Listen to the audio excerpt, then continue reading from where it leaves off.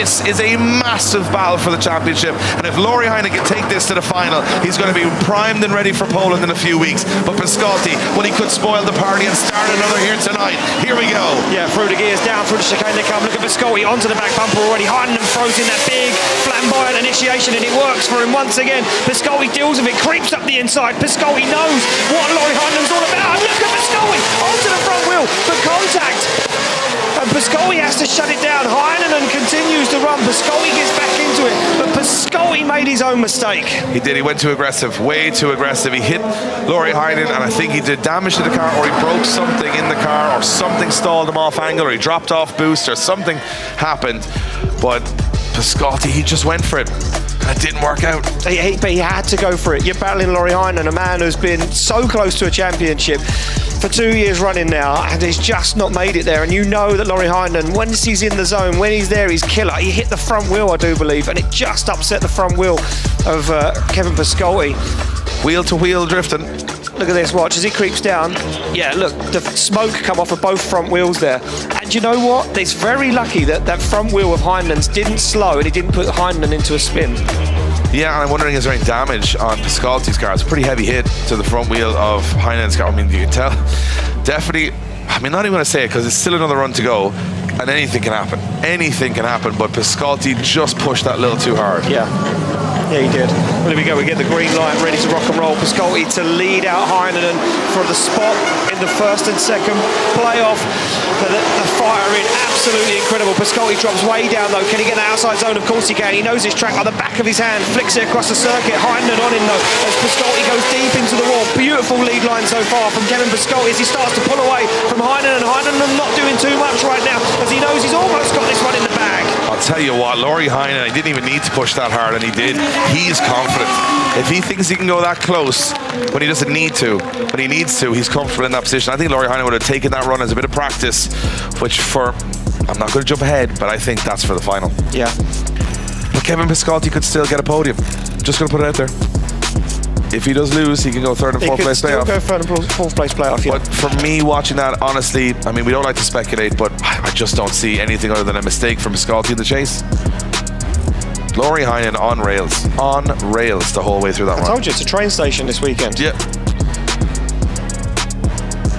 And he's It's beautiful. He's driving. Piskolty's lead line is absolutely textbook as well, Dave. You could see Yeah. that that man's had a lot of seat time on this track because he knows it so well. Look at that line. Well, here's my thing. Lauri Heinonen is driving like a champion.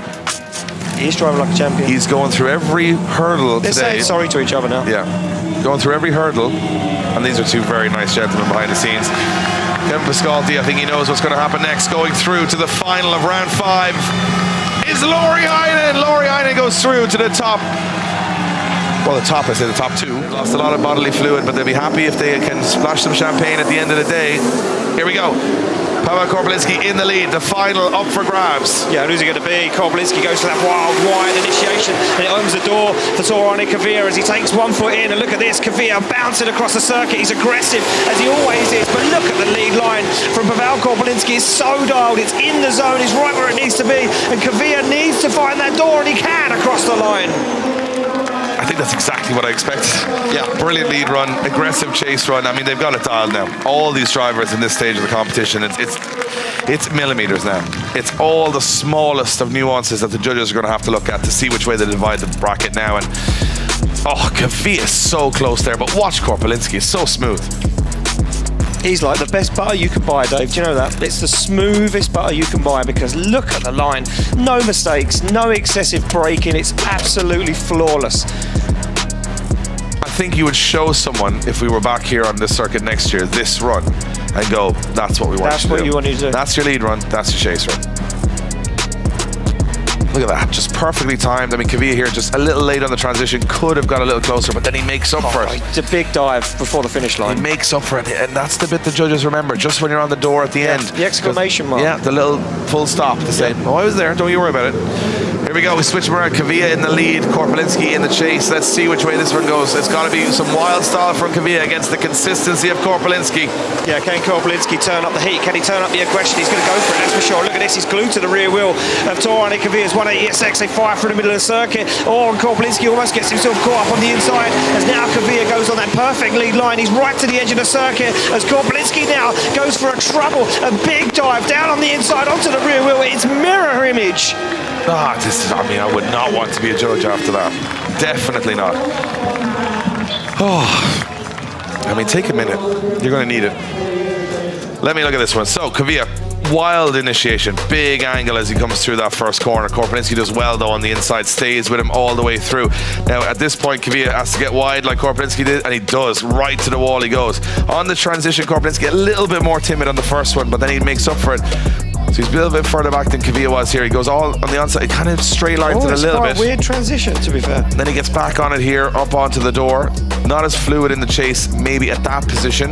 Kvia looks like he's going to the shops there in the lead position. Really calm in the car, not much steering input. Uh, but then it's a great dive from Korpulinski, much more aggressive than Kvia was the other way around, getting up onto the door, but loses a little bit of ground just at the end. I mean, it's really tit for tat. I, have no idea.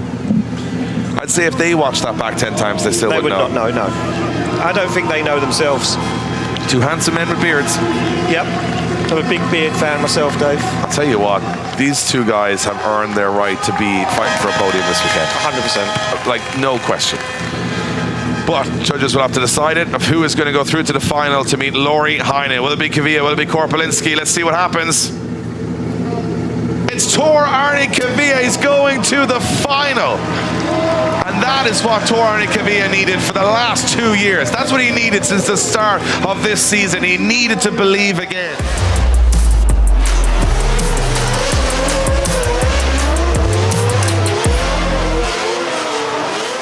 Well, here we go.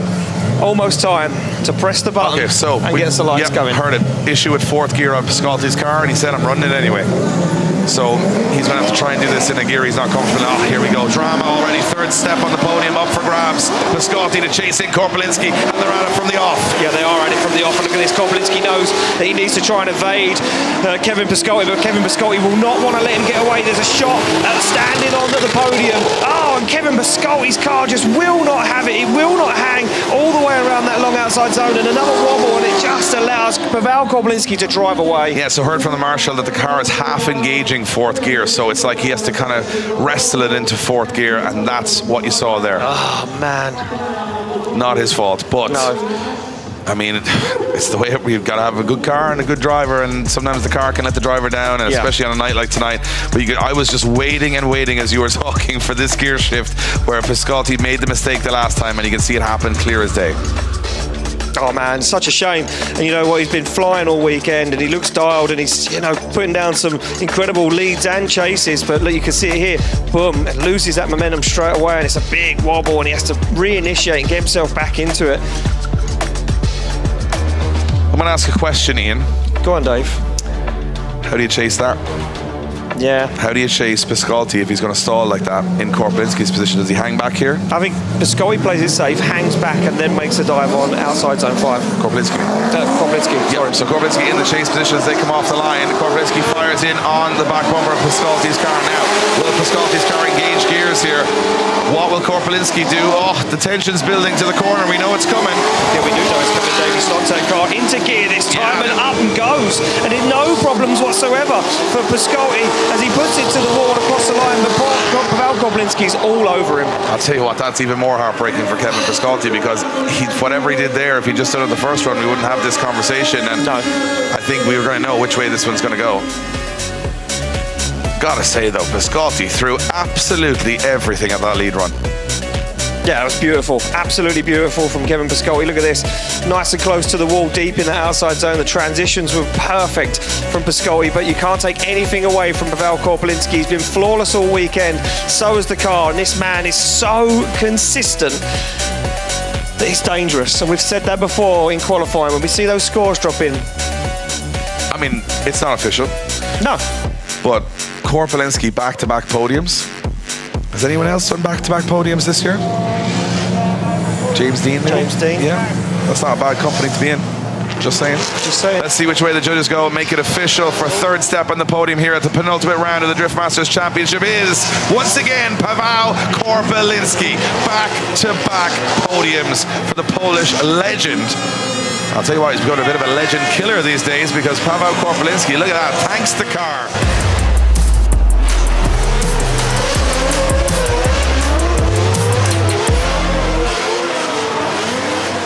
Now Kvia has got to prove, is this his day? Is this his night? Can he get the job done? Leinen in the lead as the higher qualifier, Kvia in the chase, and here we go. Through the gears, down, no messing around, big opposite flick from Lauri Heinonen, and Kvia deals with it. Look at Kvia glued to the door of the other S13 as they fire across the circuit. Kvia now waits for the transition. Heinonen gets himself into the wall. So does Kvia. No messing around though. Back out of it again as they go deep. And Kvia goes for an early transition. Across the line. Oh, it's knife edge. Knife edge from Kvia. I thought he was going in the wall.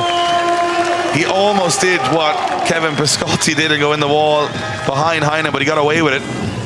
That was a very, very fast run. I mean, the speed of that run compared to what we watched earlier today, they're, they're trusting this track now in their cars and their ability. I mean, look, they're just trusting everything. They're trusting the circuit's going to deliver, and it is delivering. Look at this from Tor Arne Kvia. The chase run, once again, textbook, but the lead run from Lauri Heinonen, textbook. He just couldn't get that done yesterday in qualifying, but today he can get it done, and he's proving that's a championship drive. He wants to be a champion, and he's driving like a champion.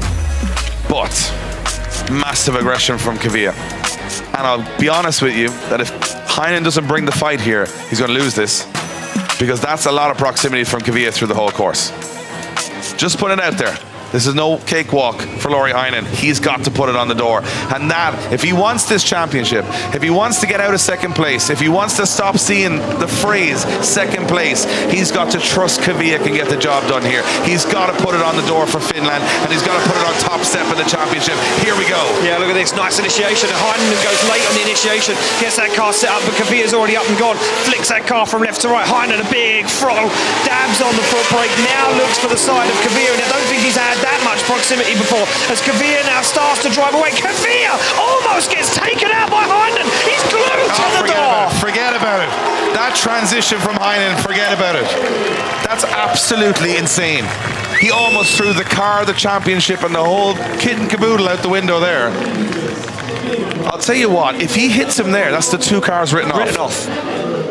My goodness. And, oh, up, until then, it was tit for tat. Up for then, I was thinking this I'm, is the balance. I'm going to just go out there and say I don't think that Heinonen had as much proximity in the first half of that run as Kvia did. Complete, I was going to say agreed. Kvia was was you know what starting to drag this one away. I think Kvia was like one foot on the top step of the podium, but then from here on out, Heinonen started to trust Kvia, started to lean on him a little bit. They got through this outside zone, and then Heinonen said, you know what, no more messing around. Time to get the job done. Took a big risk here. Man, this transition was scary. If we see that from the outside again, look at this. Watch this. Doesn't even make sense. Watch.